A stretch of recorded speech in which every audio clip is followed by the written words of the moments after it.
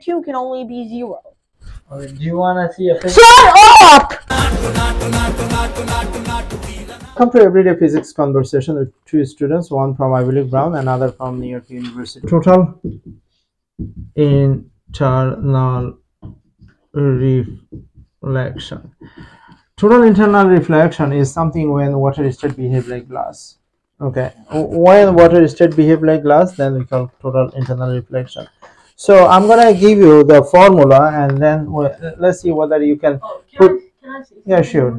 The only reason glass usually acts like that for all angles because of its higher index of refraction. Not Water- for all angles. Greater than the critical angle. Yeah, of course. And- and That's the reason why glass usually acts like that for most angles. Most.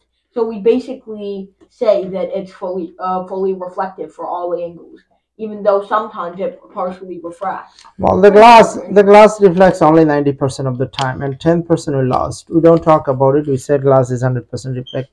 Uh, glass gives you theta initial equal to theta final, but that's not the case, right? Uh, that's not the case, right? Yeah. Theta initial Uh, it transmits 96%. 96%. Okay. Uh, all right. Uh, anyway, so the uh, the last time I told you uh, when um, small n goes to big N, right? Then theta incident is greater than theta, not final, Refracted. refracted. Okay, today I'm going to tell you the another one when um, Isaac look uh, when it's uh, when the light goes from the big N to small n, right? Then what happened? The incident angle, right? If the incident angle go bigger and bigger, right? Then incident angle up uh, phi in incident angle is equal to what we call critical angle, right? Uh, if and only if uh, if uh, just that uh, the reflected angle uh, become uh, 90 degree, right? Of this, That's the boundary between a small n and big n. so this is a small n. Can you give me an example of a small n? Yeah. Air. And can you give me an example of big n? Uh, Water. okay. What is the name of this one? was about to say glass. Normal. Normal. All right. mm, Let's say let's consider three, three ray of light. Ray of light number one. So this is closer to the normal. So this is much away from the normal. Yeah, so it refracts like normal. Uh, so what is happening? Incident ray is gonna get bigger. Mm-hmm. This incident ray is much bigger than Incident angle. incident uh, incident angle is much bigger than this incident angle, right? So this incident angle is much bigger. So this is approaching to where? A little bit closer to the boundary. Li- away away from the normal and getting closer to. Yeah. Okay, so the last one maybe. Uh, That one looks. oh, I don't. I cannot. I cannot. You have to use the purple one.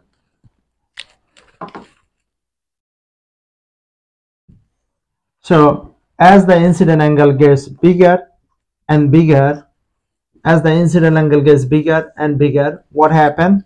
The incident angle become Uh, Critical angle. yeah, critical angle.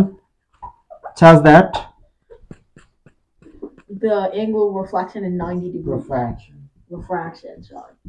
such that angle of Refraction in refraction is 90. 90 degree okay good 90 degree and if you if you increase a little bit more uh, uh, uh, one uh, uh, a tiny uh, tiny here more what happened? Then Total- it reflects. total total internal reflection will happen right? Can we show this using math? yeah okay sure. So the equations that we're going to do is um, Snell's law right?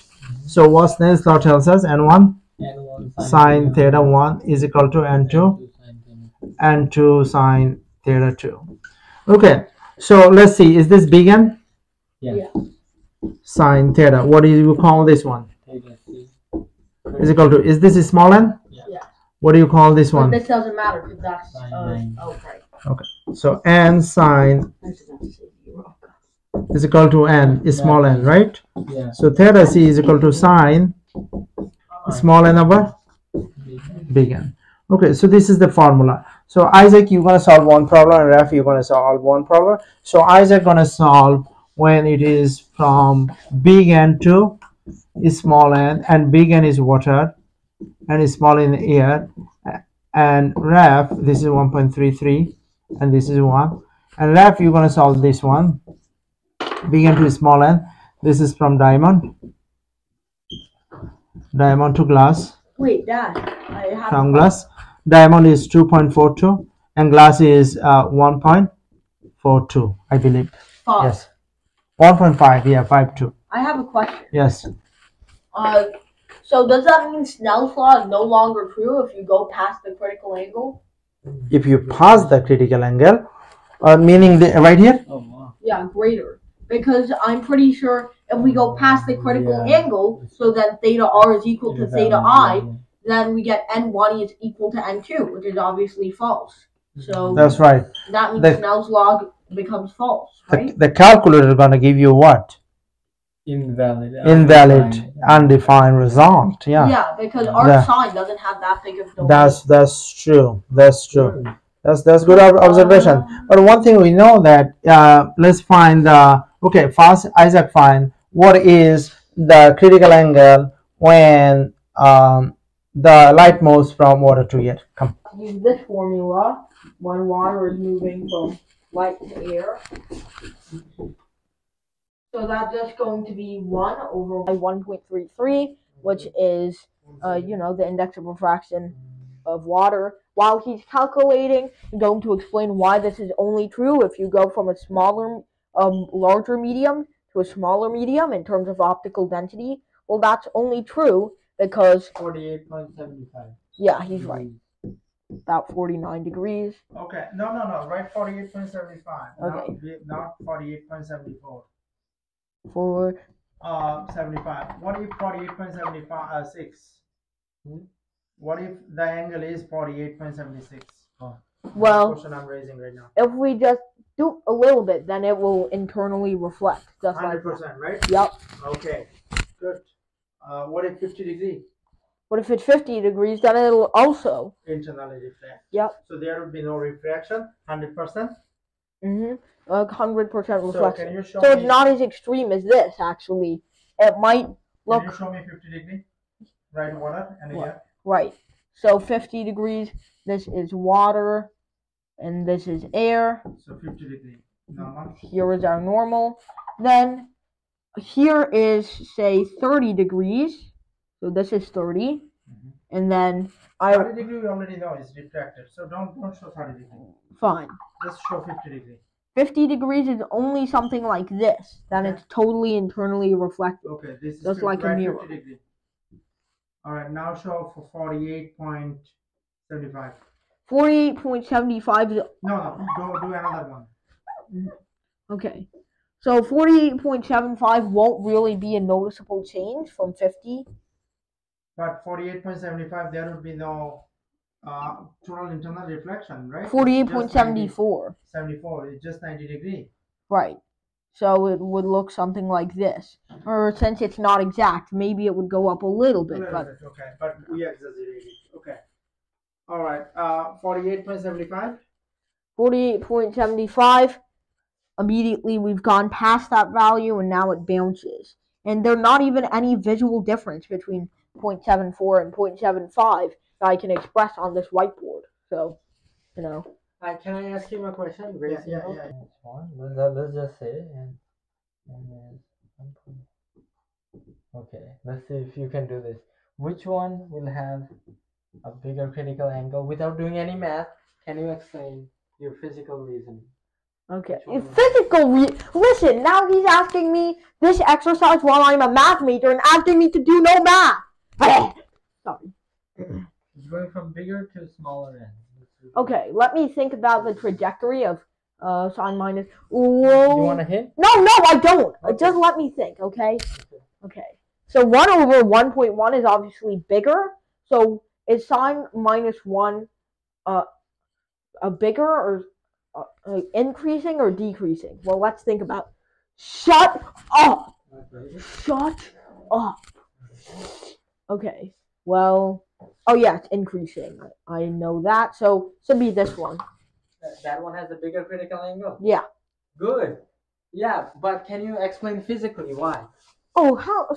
Shut up with physically. Mathematically, I know that since the sine function looks like this, then the sine inverse function is going to be that, but we flip it over the xy axis, so it's going to look something like this, i.e. it's increasing over time. And we know that this ratio, 1 over 1.1, is obviously bigger than 1 over 3. So since it's an increase, then that means there must be an increase in the y value Okay, too. okay. So it works. Okay, now I have existed for you.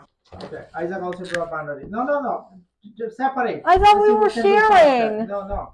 Sharing is uh, is Caring! sure. Okay.